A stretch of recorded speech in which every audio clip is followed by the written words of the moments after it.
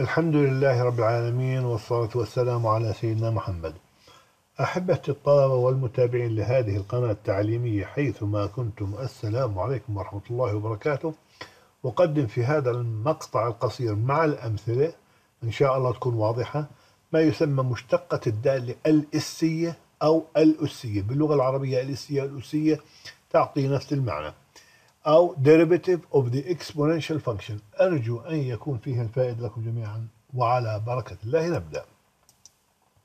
هناك دوال إسية أو أسية exponential function متعددة الأشكال لكن أهمها الدالة التي تعتمد على العدد النيبيري أو يسمى النيبير أو ال Napier number e هذا ال e أو ما يسمى عدد أويلر Euler number وهو عدد ثابت قام جون نابير بتقدير قيمته من معادلة نهايات limits كما يأتي.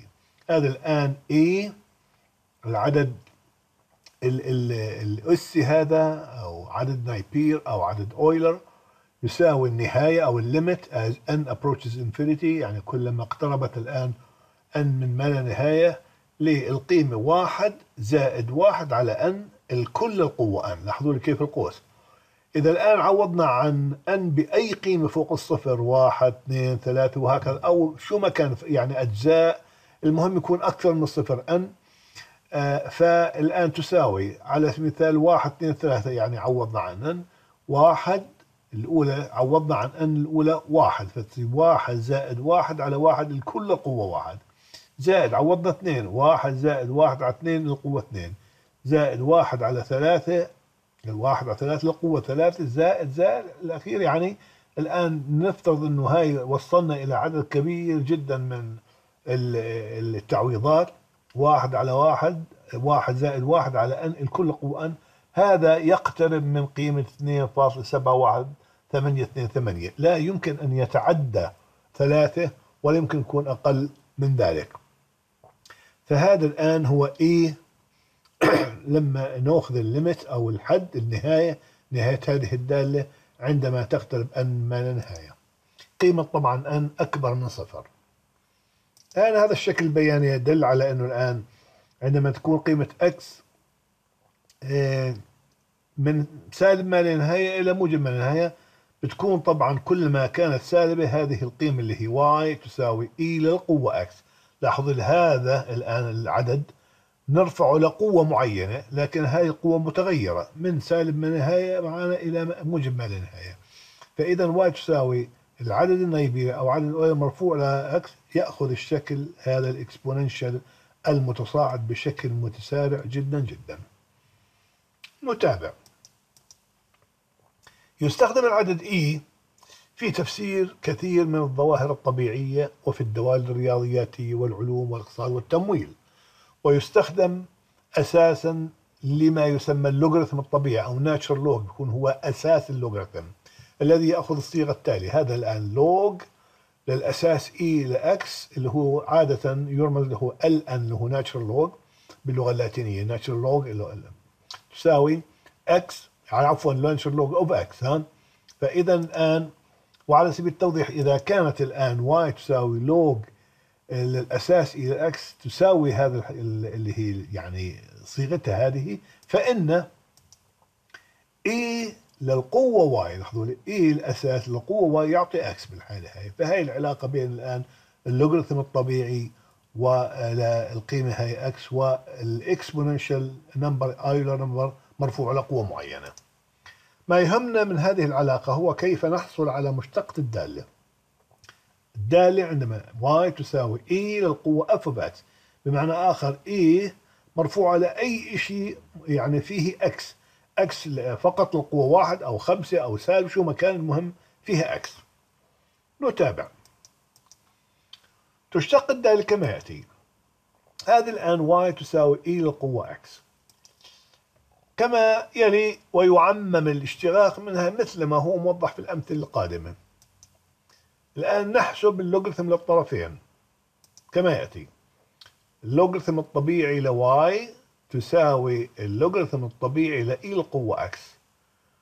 وبتساوي بالحالة هاي هذه الآن x تصبح ال exponent يعني إذا دخلنا ال log على الجهتين تصبح لوج الطبيعي لواي آه تساوي log للطبيعي لكل هذه القيمة. ف x الآن اللي هي ال exponent أو الاس أو القوة تصبح المعامل مضروب في اللوغاريتم الطبيعي ل e لكن لأن اللوغاريتم الطبيعي ل e هو اللي يعني خلينا نقول الأساس e فإنها تساوي واحد صحيح وبالتالي الآن اللوغاريتم الطبيعي ل y تساوي اللوغاريتم الطبيعي ل e x تساوي واحد اللي هو اللوغاريتم الطبيعي ل e لقب مضروب في x اللي هي المعامل هنا.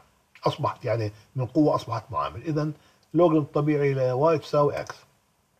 ثم نشتق الطرفين بالنسبة ل x أي أن الآن dy الان لأنها لوغاريتم dy على y تساوي واحد في dx وتساوي dx طبعا.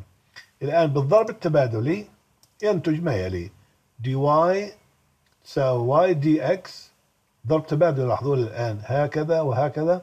فيطلع عندي بالحالة هي dy dx تساوي y وبالتالي الآن y آه، تساوي e x إذا يعني المشتقة الأولى لهذه تساوي الدالة نفسها ما يعني لم يتغير عليها شيء. شريطة الآن أن تكون فقط إكس مرفوعة لقوة واحد هنا ومضروبة بواحد صحيح. فإذا الآن آه، مشتقة الآن هذه الدالة تساوي الدالة نفسها شريطة أن تكون هذه مرفوعة لقوة واحد صحيح ومضروبة في واحد صحيح. أي أن الآن مشتقة of x تساوي to the power x هي f prime of x تساوي to the power x. وتعني بأن مشتقة الدالة f prime f of x تساوي e للقوة x تعطي ميل الدالة عند القيمة التي نختارها للمتغير x. سأوضح ذلك بالأمثلة إن شاء الله في الشريحة هذه القادمة. توضيح. إذا كانت of x تساوي to the power x فإن الآن المشتقة الأولى of x تساوي d ex على dx d of e power x وتساوي x نفسها. الآن لو لنفترض إنه x تساوي 2 هذه تساوي 2 هذه الآن تنتج ما يلي of 2 يعني الدالة إذا قيمناها عند x تساوي 2 تساوي e لقوة 2 وتساوي 7.38905 6 يعني إلى كل هالخانات تقريبا تساوي 7.39 وإذا كانت أكس تساوي 3 يصير عندي f في 3 الآن هذه تساوي e للقوة 3 تساوي 20 فاصلة. حقي كل هالكلمة تساوي تقريبا 20.1 صحيح. ماذا يعني هنا؟ هذه الرسم البياني بتقول لي إنه إذا كانت x آه، تساوي 2 فإن ميل الدالة لاحظوا لي هذه النقطة 2 يعني اللي هي الزوج المرتب x و y أو x وإلى القوة x. بعطيني 2 والآن يعني أفقيا عموديا 7.93 تقريبا. وهذا الآن ميل الدالة عند هذه النقطة يساوي قيمة e للقوة x اللي هي e للقوة 2 أما هذه فتعطينا الآن آه، الزوج المرتب 3 و 20.1 20.1 بمعنى آخر بأن ميل الدالة عند هذه النقطة يساوي 20.1 هذا التوضيح البياني لمعنى آه، الاشتقاق هنا.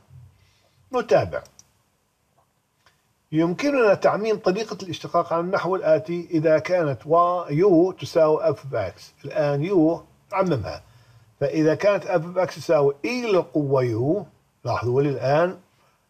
f of x تساوي e للقوة u فإن الآن f prime of x تساوي d اللي هي مشتقة e للقوة u بالنسبة ل x وتساوي e للقوة u du dx. هذه يجب علينا أن نشتقها اللي هي يعني آه بنسميها إحنا ال chain rule ثم آه وما وما تبع ذلك. وعلى سبيل المثال نفترض بأن الآن f of x تساوي e للقوة 5 x تربيع. e للقوة 5 x تربيع.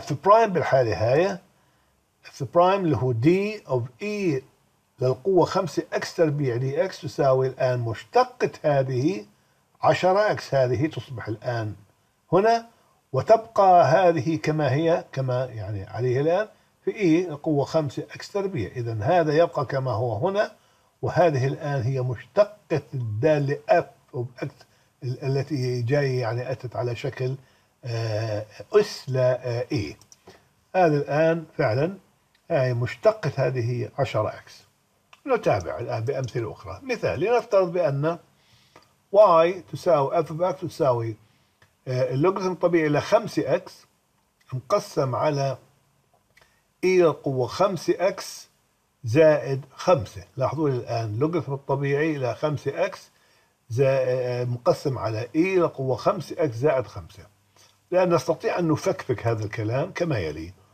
y تساوي f of x وتساوي اللوغاريتم الطبيعي ل 5 x هذا مقسم على e للقوة 5 x زائد 5 هذه الآن اللوغاريتم الطبيعي ل 5 x تصبح اللوغاريتم الطبيعي ل 5 زائد اللوغاريتم الطبيعي ل x ومنفكفكها إلى الآن يعني آه، عبارة عن كسرين. اللوغاريتم الطبيعي ل 5 مقسم على هذا الكلام اللي هو 5 اي لقوة 5 x زائد 5 وزائد اللوغاريتم الطبيعي ل x مقسم على اي لقوة 5 x زائد زائد 5 الآن نستطيع أن نشتق هذه بطريقة اللي هي اشتقاق الكسر. كيف؟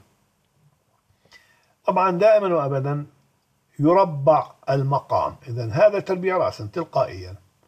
فهذه الآن القيمة في المقام في مشتقة البسط. ناقص البسط في مشتقة المقام.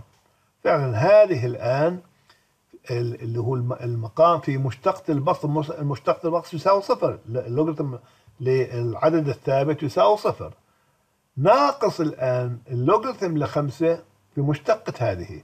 بيطلع عندي الآن سالب اللوغاريتم لخمسة لكن ما هي مشتقة؟ e للقوة خمسة x زائد خمسة. هي عبارة عن خمسة e للقوة خمسة x وهذا يذهب صفر. اذا هاي خلصنا إحنا الجزء الأول من الاشتقاق. الآن الجزء الثاني. يربع هذا مرة ثانية. الآن هنا e آه، آه، طبعا داخل قوس e قوة خمسة x زائد خمسة الكل تربيع. الآن هذه القيمة اللي هي في البسط في مشتقة عفوا المقا البسط عفوا المقام في مشتقة البسط هنا الآن المقام هو e للقوة 5 x زائد 5 الكل في القوة. في مشتقة اللوغاريتم الطبيعي ل x اللي هي 1 على x. ناقص الآن هذه اللي هي ناقص البسط في مشتقة المقام وبتساوي ال natural log of x كما هو سالب لكن في مشتقة المقام اللي هو 5 في اي القوة 5 الآن عملية تبسيط فقط لا غير تصبح كما يلي الآن آه يعني بهذا الشكل آه أرجو أنه يكون معك قلم وورقة وتتأكد من كل خطوة وبكون بالحالة هاي الشكل الأخير هو كما يلي وتساوي بالحالة هاي آه, آه، داخل قوس E للقوة 5 x زائد 5 سالب 5 في E للقوة 5 x في اللوغاريتم الطبيعي ل 5 إكس مقسم على إكس لأنه هنا الآن هذه واحد على x اذا تصبح في المقام فهنا ذهبت إلى المقام آه، مضروبة طبعا x هذه مضروبة في القوس e القوة 5 x زائد 5 الكل تربيع أكون بذلك قد انتهيت من هذا المقطع. راجيا أن أكون قد قدمت الفائدة لكم أحبتي الطلبة. وإلى لقاء آخر. والسلام عليكم ورحمة الله وبركاته. لكن أنصح بأن يكون لديك قلم وورقة وأن تجرب حتى تتأكد وتتمرن على هذه الاشتقاقات. وإلى لقاء آخر بإذن الله. السلام عليكم.